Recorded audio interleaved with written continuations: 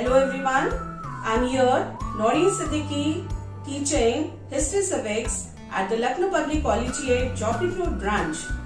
Children, I'm here to discuss certain topics with you of the syllabus of History Civics for semester 2 examinations. Now let us begin with, in civics portion we will have the executive and the judiciary.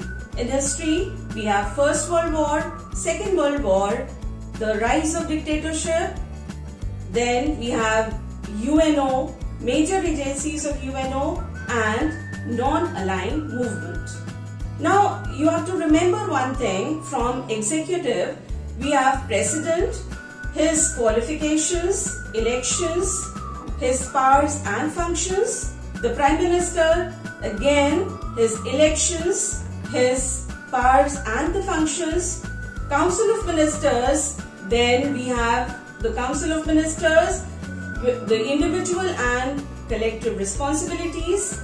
In judiciary, we have the appointment of the judges, Supreme Court, High Court and the subordinate courts. We have Lok Adalats. Now moving towards history portion.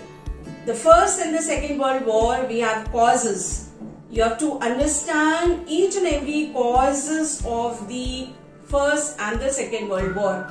Then the rise of dictatorship, we have only the similarities and the differences between them, between fascism and Nazism.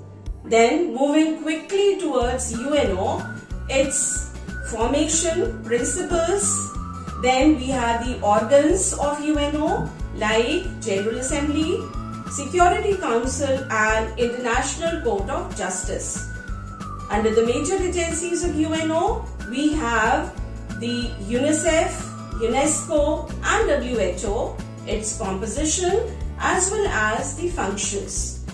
The last chapter that is NAM, Non-Aligned Movement, we have the formation of the non-aligned movement, its meaning and the role of Pandit Jawaharlal Nehru.